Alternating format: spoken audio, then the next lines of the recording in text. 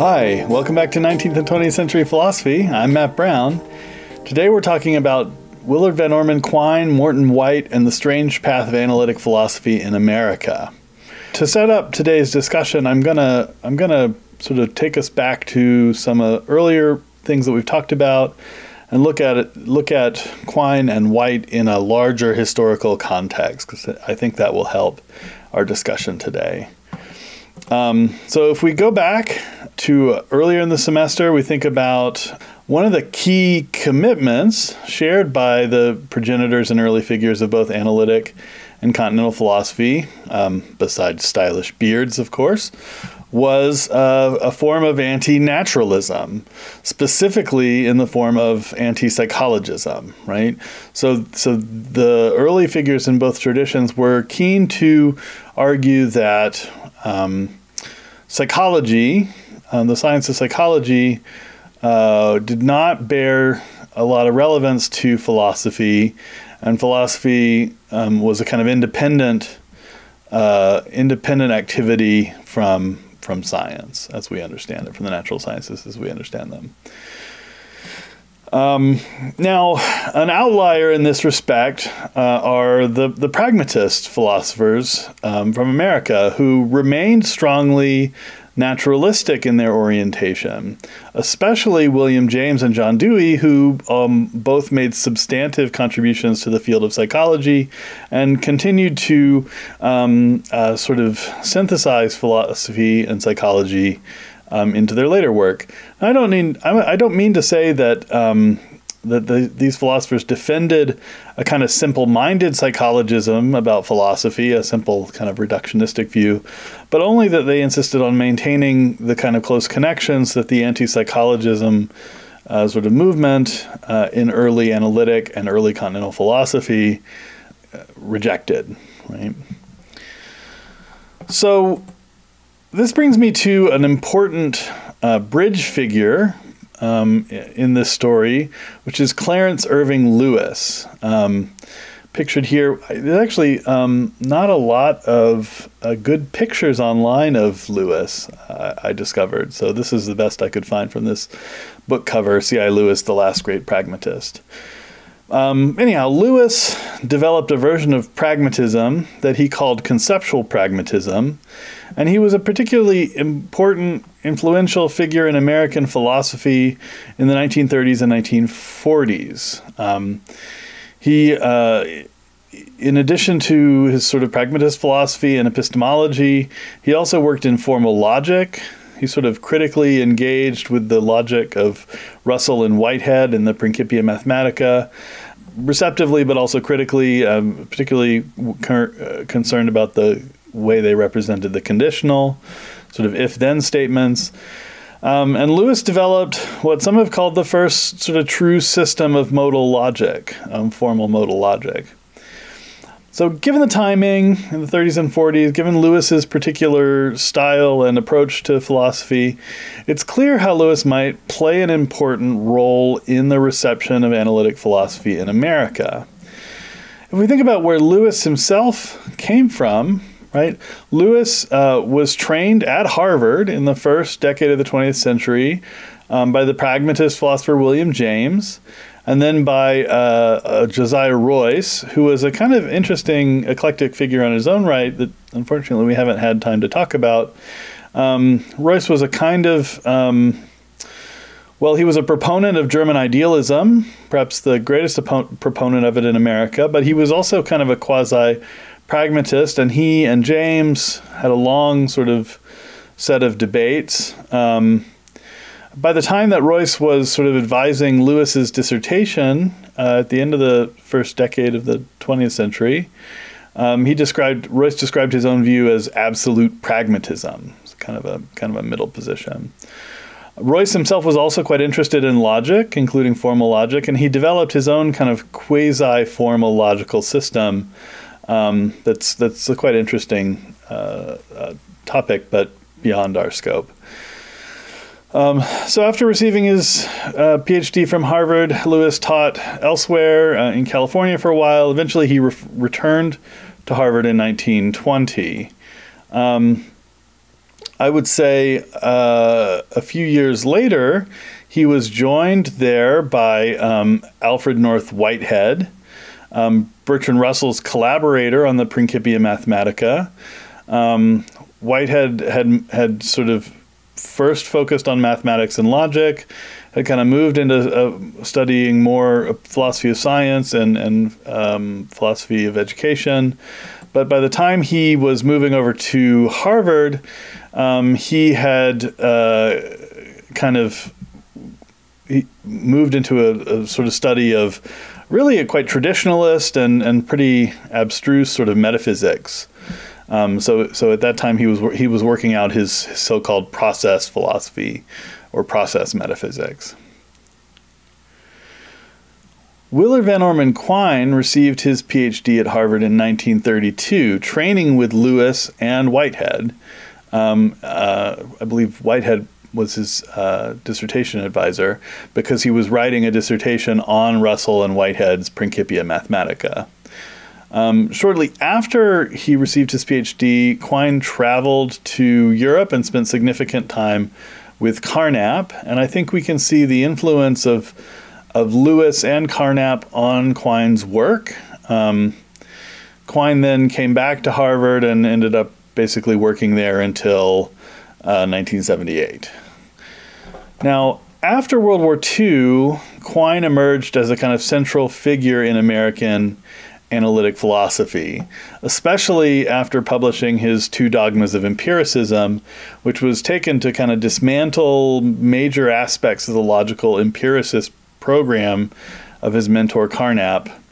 Um, and it was done on sort of broadly pragmatist grounds. So, so these key notions of um, the analytic and synthetic distinction, um, the sort of uh, a priori questions of logic and empirical questions of science, those those kinds of a lot of that machinery was broken down by by Quine in, in, in a series of articles. And then in his um, 1969 article, Epistemology Naturalized, which we're talking about today, Quine articulated uh, what might be seen as a, as a um, actually a pretty pretty simplistic version of epistemological psychologism. So here we have Quine kind of going back and saying, actually, psychologism uh, is not so bad. It has a lot to it. We should be naturalists of the really kind of um, flat footed sort, right? So, rejecting effectively the sort of origins of analytic philosophy in some sense. Um, now, in 1953, the same year that C.I. Lewis retired from Harvard, Morton White joined Harvard as a colleague of Quine's. And he would become a kind of major interlocutor for Quine. They would have a lot of sort of back and forth. And White drew a lot on Quine's ideas in his own work um, and expanded upon them. Now, White himself received his PhD at Columbia under Herbert Schneider, who had been a student there at Columbia of John Dewey's. Now, White worked in, in ethics, social and political philosophy, and the philosophy of culture. He also had a major, White had a major project of attempting to synthesize analytic philosophy with pragmatism, kind of uh, create a, a, synthesis there. Already, White's views were somewhat similar to Quine's before they really started interacting. Um, you know, drawing on Dewey, White also uh, had opposed the analytic and synthetic distinction. Um, and once they were working together at Harvard, uh, White became quite engaged with Quine's work. Um, he, White accepted many of the sort of holistic and pragmatic elements of Quine's philosophy, but also criticized what we might call Quine's scientism, um, Quine's exclusive, sort of exclusive focus on on science. Um, because White, as I said before, was quite interested in the social, political, cultural, ethical stuff. Um, as an aside, I think it's quite striking the role that um, Harvard plays in this story. How many of the figures uh, in this story who were really, I think, crucial figures to the the evolution of, of analytic philosophy in America, um, and and they were so many of them were associated with Harvard. So, um, that's something I think that's quite interesting.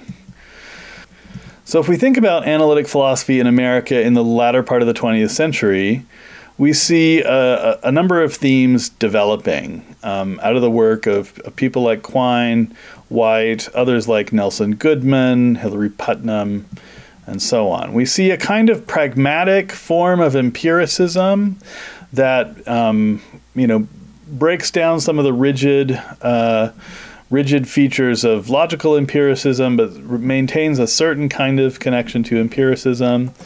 We see an emphasis on naturalism, which distinguishes it from sort of earlier European forms of analytic philosophy and, uh, and British analytic philosophy. We see um, concerns about normativity, and this really gets at the back and forth between Quine and Morton White. This sort of um, concern about how are you going to maintain the sort of normative aspects of epistemology um, and, and ethics in the face of a naturalism that relies heavily on descriptive science.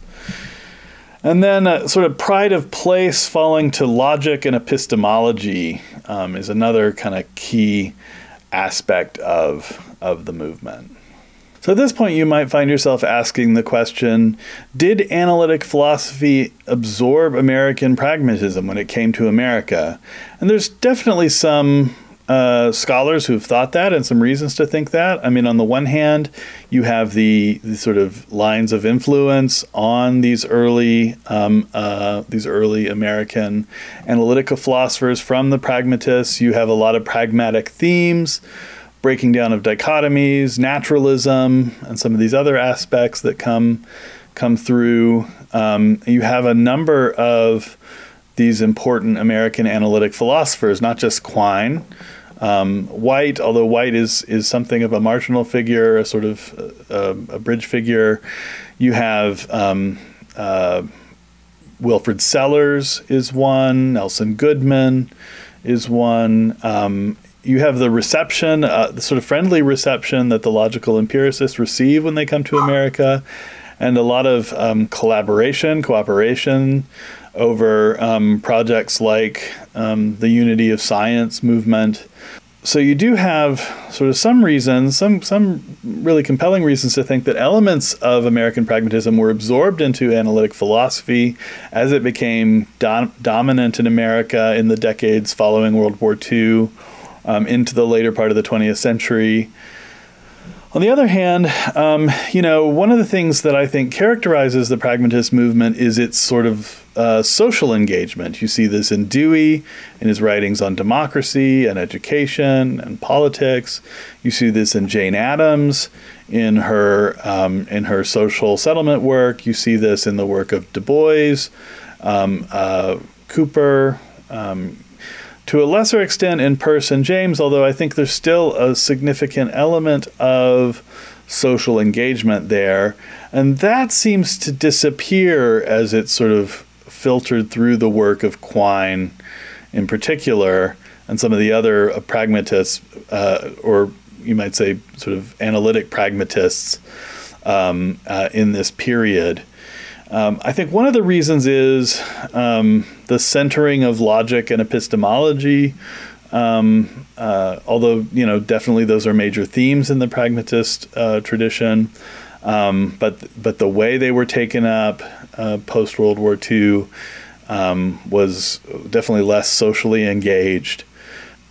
A lot of the kind of thinking that the pragmatists were doing continued, but it continued in sort of social science contexts as opposed to within philosophy. Um, so there's a lot of lot of interesting questions about what's going on there. By the by the later decades of the 20th century, 1980s, 1990s, um, there definitely is a resurgence of focus on the classical pragmatists, um, interest in the work of Dewey and James and Peirce, um, and and the reincorporation of some of those more socially engaged themes, especially as feminist philosophers start engaging with pragmatism, and and um, the sort of uh, uh, broader perspective, Africana philosophers as well, like Cornel West, and a kind of broader sort of perspective um, is gained, especially as analytic philosophy becomes a less um, sort of restrictive, well defined movement and kind of um, sort of disperses into the mainstream um, without having a particular program to speak of. So those are some of my thoughts about the, the, the larger historical movements and questions here, um, with with reference to the, the themes in the in the Quine and uh, Morton White readings for today. We'll obviously dig into the arguments in those readings in more detail in class um, and on Discord. Um, if you have any questions, uh, please feel free to, to raise them in those contexts or on the comments of this video. Otherwise, I'll see you next time as we take up uh, another movement in American philosophy, the sort of importation of not analytic, but a form of continental philosophy as the Frankfurt School of Critical Theory moves to California. So I'll see you on the West Coast next time. Bye.